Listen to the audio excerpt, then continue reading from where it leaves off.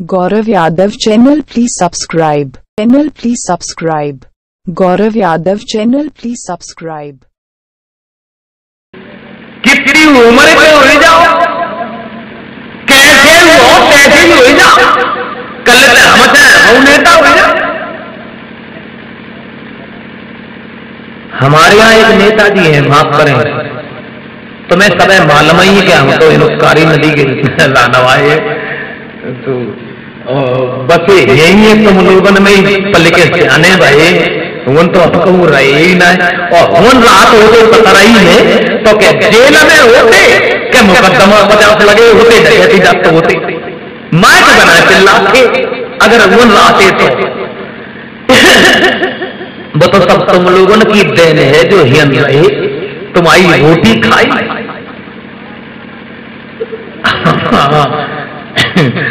तो मेरा मतलब है कि नेता मनवा हो हमारे यहाँ जिला एटा में एक नेता है और ऐसे नेता हैं, जब ही कोई इलेक्शन आते कोई भी चाच दस बीघा बेच लेते हुए प्रधान होना पाए आज।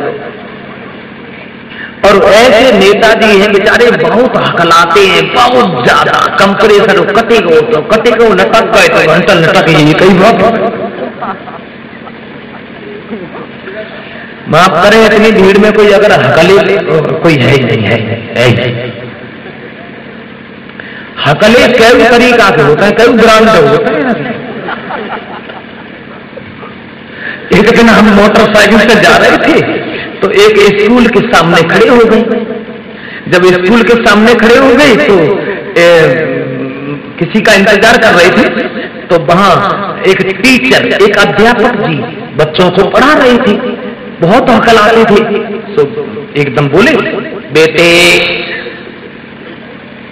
करो लड़का खड़ा हो गया। परो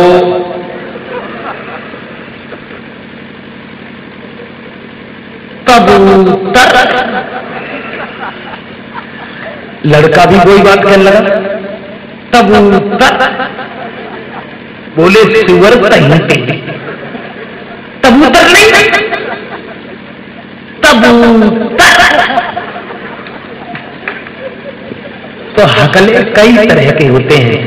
एक, मैनपुरी में एक दुकान है, भदौरिया मोबाइल रिपेयरिंग सेंटर। तो वहाँ मेरा मोबाइल खराब हो गया तो वहाँ डाल दिया मैंने। तो वहाँ से निकले, मैंने कहा, मोबाइल बन गया? बोले नहीं। उठा के सामने रख दिया। हमने पैसे कितने हुए? बोले नहीं। हमने पैसे कितने हुए? तो बहुत देर हम बताए, भाई। बोले, दो सौ तीन तीन तीन तीन तीन तीस रुपए।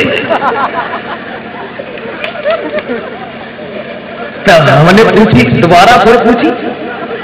हमने सही बताया। कितने पैसे हुए? सुबह गुस्सा में आई गई। गुस्सा में आ गए तो एकदम बोले तो सौ तीस नहीं, सीधे ढाई सौ हो गई। कोई बार पूछी तो बीस रुपया फालतू और दे देते तो हकले कई तरह के होते हैं। एक बारात में हम गए तो एक लड़का जो बैंड में गा रहा था, बहुत हकलाता था। तब तक गाँव के लड़का नए नए आ गए। बोले मैडम बैठे बोलो रो में सो बेचारो कल्याण से बोलो रो कहिए ना सो वो गल कि मैडम बैठ के लोरो में। तो हकले कई तरह के होते एटा में गांधी मार्केट में एक फ़ोटो स्टूडियो की दुकान है। एक नया लड़का दुकान किए है। सो एक बड़े बूढ़े आदमी गए, फ़ोटो खिंचवाने के लिए सो जैसे में बैठे, सुबह ने कैमरा लगाओ, और कैमरा लगाए के बोलू, बाबा, थोड़ा मुतकराना सो बाबा जी का सपने में नहीं आई, बेचारे उठे, पेशाब करे आए। फिर बैठे बाने फिर कैमरा लगाओ। अब बाने फिर जाएगा बाबा, थोड़ा मुतकरा तो बाबा ने झोरा उठा साथ मुतकराना कितनी बार मुतकर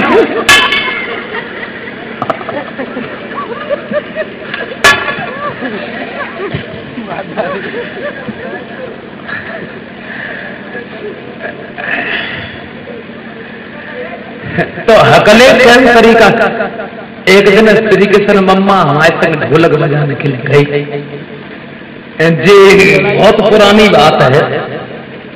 तब हाव ब्याऊ ना है भाऊ तो। सन अठासी नवासी की बात है।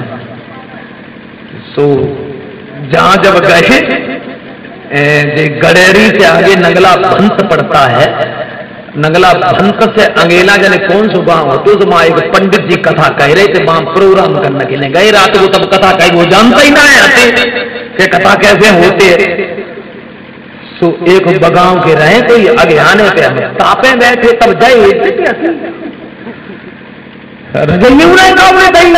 सर्दी को मौसम सु। आने पे तापे बैठे तो ने एक भी आई गए तो बैठ गए। अब बिन ने पूछी मम्मा से पूछी भी तो ऐसे है कहीं जब आता जो कछाता ना हुए, जो पंडित जो है तो बिना मन हुए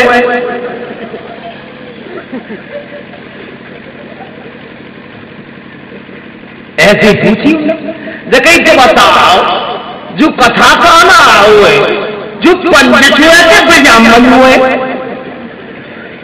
तो मम्मा ने कही रही पंडित ब्राह्मण आए चमार हुए देखो टमाटो कथा खाना हो। कोई वाली ना है। देखो कंटा वाले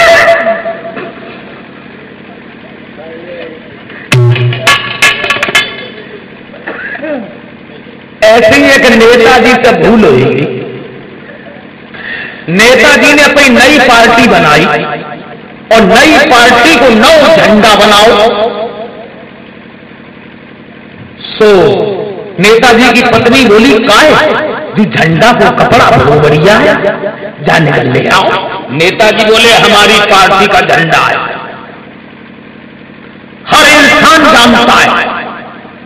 सो लाए तो ने कपड़ा लाए के घर तो सो नेताजी की पत्नी ने भाई झंडा के कपड़ा में अपने कपड़ा संभाल। ले भाई में तो बिलाज, भाई में पेटी का हो तो सो मतलब सब। अब नेताजी को सवेरे सवेरे नीचे का केंद्र कर दी है सो नेताजी ने झंडा को साफ़ करके स्थिति बनी टकाए तो अंधेरे जगे झंडा के बदले पेटी को उठाए ले गए।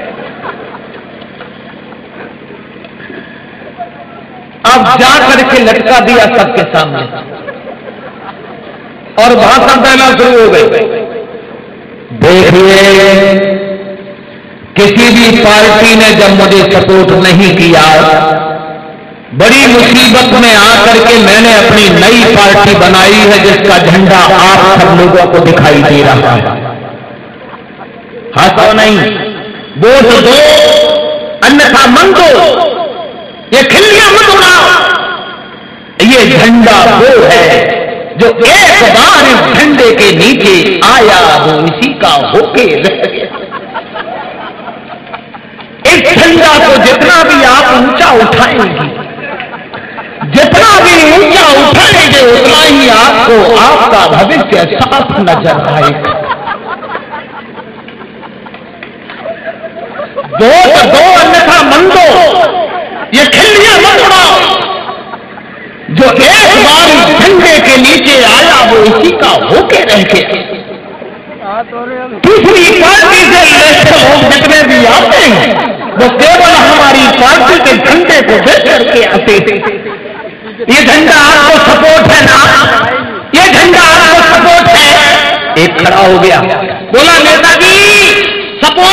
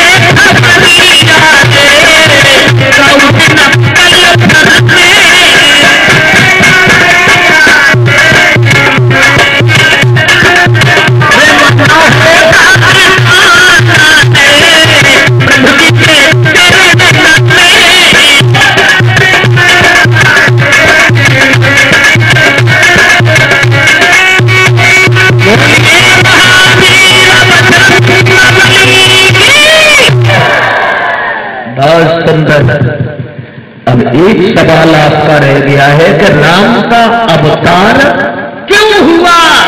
इसका इंतज़ार करें कल। कितनी उम्र में हो जाओ? कैसे हो कैसे ही हो जाओ। कल हम वो नेता हो जाओ। हमारे यहाँ एक नेता जी हैं, माफ़ करें। तो मैं सब मालूम ही क्या हम तो इनकारी नदी के लानवाए तो बस यही है तुम लोगों में ही पल के सियाने भाई। हुन तो कहूँ रहे ना। और हुन रात हो तो सतराई में तो क्या जेल में होते? क्या मुकदमा पचास लगे होते? डकैती जाते होते। माइक बना चिल्ला के अगर हुन राते तो। वो तो सब तुम लोगों की देन है जो हियन रहे। तुम्हारी रोटी खाई।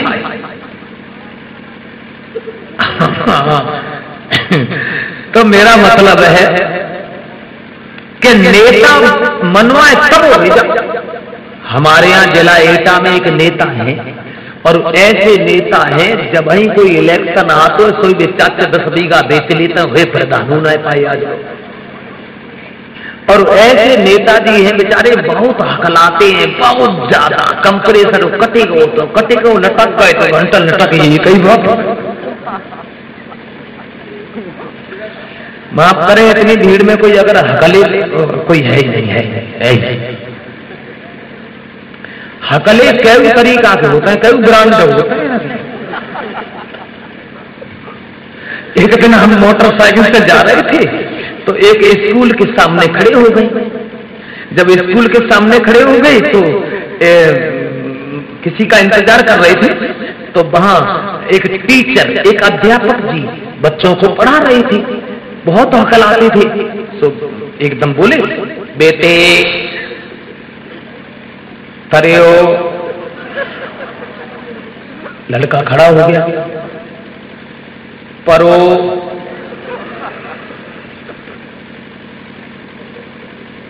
कबूतर। लड़का भी कोई बात कहने लगा, कबूतर। बोले सुअर सही कबूतर नहीं। कबूतर तो हकले कई तरह के होते हैं। एक, मैनपुरी में एक दुकान है, भदौरिया मोबाइल रिपेयरिंग सेंटर।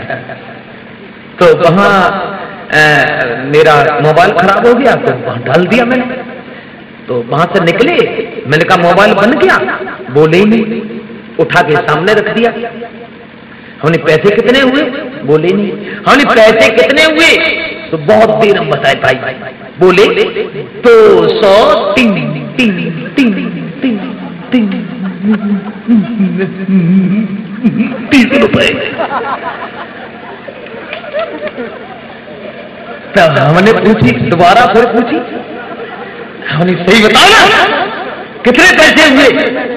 सुबह गुस्सा में आई गए गुस्सा में आ गए से एकदम बोले तो सौ तीस नहीं, सीधे ढाई सौ हो गई। दो पूछी तो बीस रुपया फालतू और दे दे